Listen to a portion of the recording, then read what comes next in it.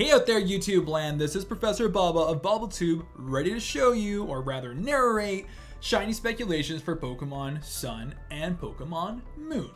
We're to look at the two legendaries, which is Lunala and Solgaleo. I say Sun Galio because Leo is a lion. Here's what we're to look at.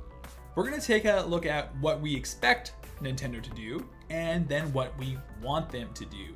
So for Solgaleo, and yes, I go Solgaleo rather than Galeo because it's a lion, we're gonna look at what we expect them to do. Based on its body right now, to me, it looks kind of like a shooting star because it has this whole essence of its mane, which is kind of in the shape of a comet. So that's part of a whole like sun and space thing, makes sense to me. If you look at it, it has some red and yellow to it, which is great. That represents the sun and its whole body is white. And the reason why I think it's a white color in its normal state is because we represent light and darkness with white and black. Um, some may argue those are colors, other people may say they're shades, doesn't really matter. We're not playing semantics here, we're looking at this Pokemon, this legendary beast to see what it could be.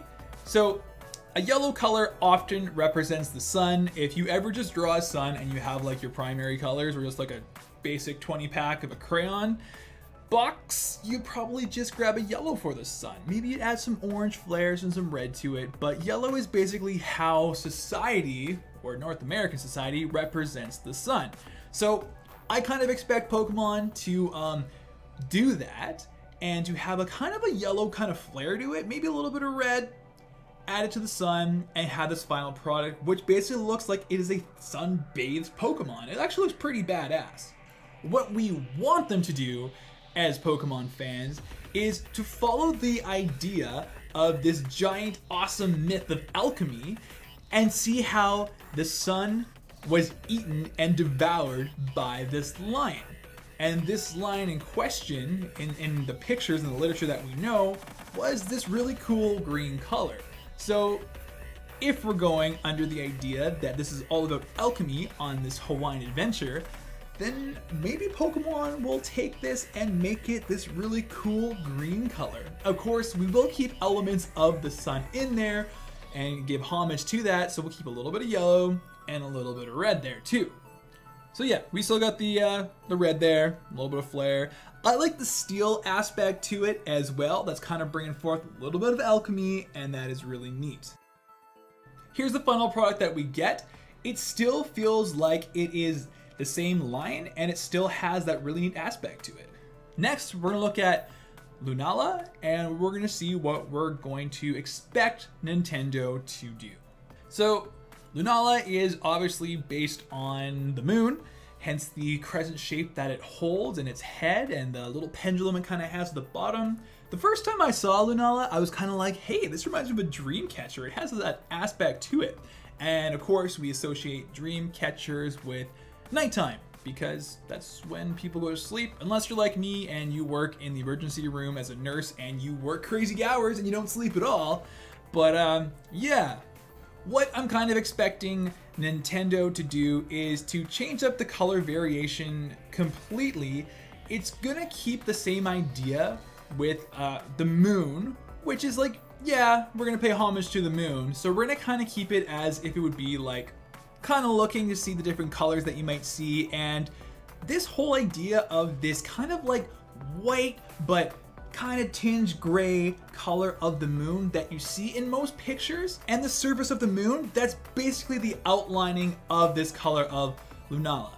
Um, I like in the center how we have what appears to be a full moon on its chest. Awesome creation right there. This is what I'm kind of expecting Nintendo to do. Let's see if they actually do it or not. These are of course speculations. What we as fans are hoping for and want them to do is a little bit different.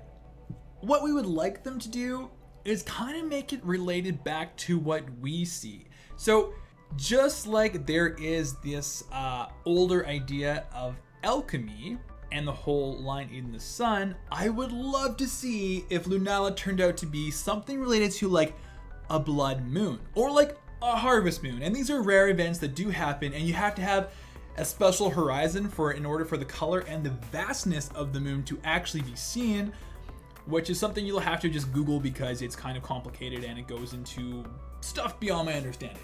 Personally, I think this looks badass. It has this really like dark feel to it, but not like evil necessarily, just like this crimson color, which kind of like makes me think about Dracula a bit. It definitely looks more like a vampire, which was, again, one of my initial thoughts besides Dreamcatcher. One of my initial thoughts about Lunala was that maybe it's kind of like a vampire, kind of had a bat kind of look and feel to it. So this whole crimson idea is kind of like bringing it back to vampires and Dracula.